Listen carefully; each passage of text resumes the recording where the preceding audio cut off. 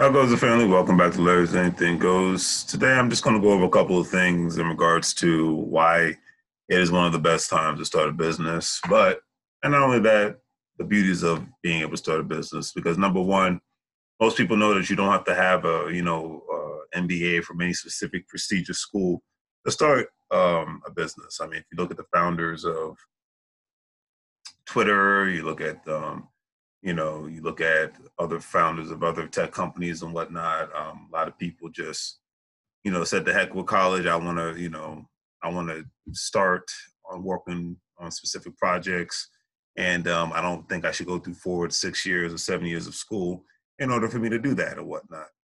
So, especially given the fact nowadays, you know, household debt has, you know, grown tremendously. Um, unemployment is definitely high in the United States you know um and you know and, and another thing is you know pe- consumer spending isn't really what it was before the pandemic you know most people are buying stuff out of necessity and for maintaining right now. I myself am guilty of this all at the same time you know and there's a lot of multitude of obstacles that are out there for just people who just want to have a job.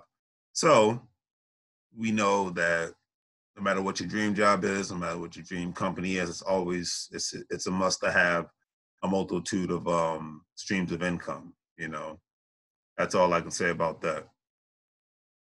Now, at the end of the day, um, you know, another reason is, you know, for the most part, um, for a lot of businesses, especially a lot of businesses that are growing from an online perspective, staffing is not a big deal because most people are one-stop shop or they have virtual assistants. So, you know, they don't have to worry about a lot of um, what's the best way to put it?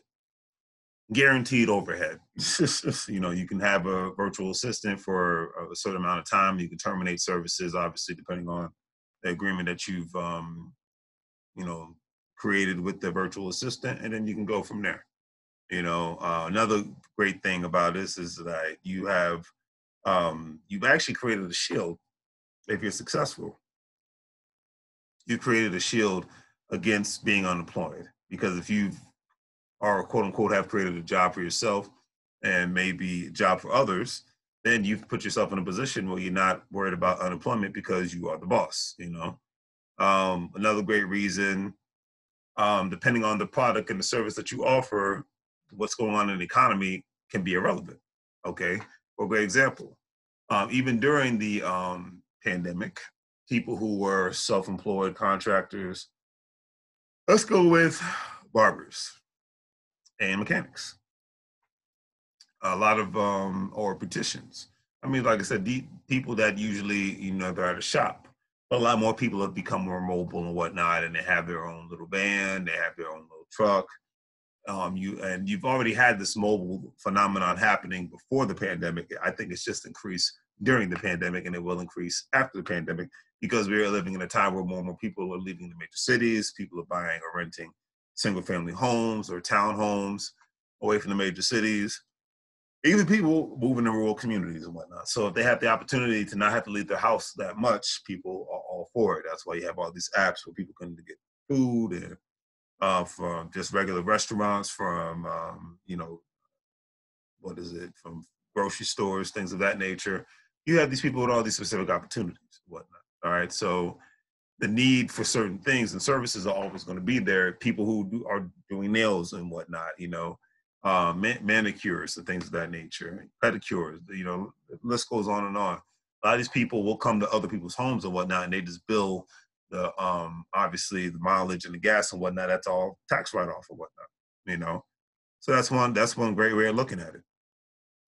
Another thing to look at it um, at the end of the day, no matter what you know, if you look at history, um, whether the economy went up, whether the economy went down, you've always had this um, multitude of jobs and companies being created and whatnot.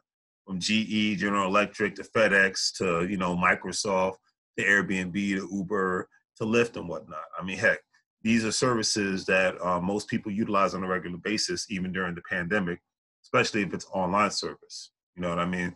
So that's, that's another thing to look at. You know, it's it's an amazing thing to look at. Um, and I think that if people just um, understand that no matter what the case may be, having some sort of a, a side hustle slash business is not only great for you tax wise, and obviously you contact your um, CPA, certified financial professional, but it is a great, great, great thing um, to just be able to have um, options. You know, I think when anyone has options of where they can live, options to the schools that they can go to, options to the companies they can work for, options to the um, income that they can have, I think that the world um, could be a better place for you, not just for yourself, but for your families. So do the great three free things, family. Like, share, and subscribe. Have a great day. And 2021 is here. It's time for you to start owning something. Take care.